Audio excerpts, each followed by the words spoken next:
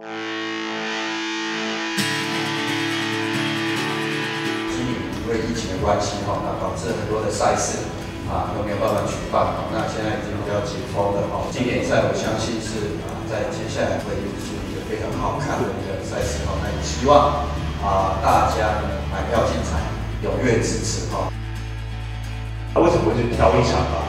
其实很多新时代的球迷，包含今天在座的像永胜啊、宁谦啊等等，他们也都是慢慢都都到了一个接班的位置。所以我会希望说，年轻的要有胆识去挑战自己的前辈。所以有了今年这个挑一场这样的一个概念，对我而言，我就是希望就是站在球迷第一的一个立场，球迷需要什么，我们就去呈现一个球迷想要看的赛事。所以说，我们会希望说，八月十五、十六，尤其八月十五，喜爱你来的朋友可以进来看你啦，然后八月十六可以进来看男篮。我相信会有满满的一个周末提供给大家。所以最后会希望说，大家可以尽情的来享受我们这个篮球飨宴。经验不够，但是跑一步算你们两步啦。然后我相信就是可以跟学姐有这样比赛的机会是越来越少，毕竟他的年纪。那有那个哈，大概是姜还是老的辣，跑一步算我们两，但是我们头一篮可能要折返两次，因为你们投不进，对战机会越来越少了。但是我觉得这可能是最后一次了，因为你们会输到不敢再跟我们打。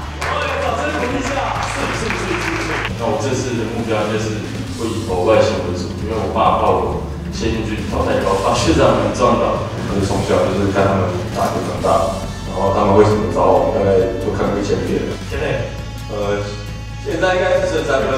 哇！可以跟你说以前吗？对，现在不行了。侥幸差了两分吧。哇！因为小红哥说年轻人要飞，但是飞起来小心一点，我不知道怎么落地了。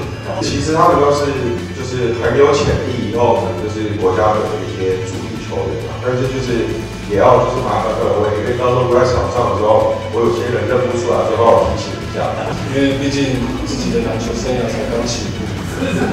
也不要因为一场经典赛就算是给自己一个退休赛。这些学长最近做了一些招式，我其实也摸不太懂。哎呦哎呦，哇哇哇哇哇！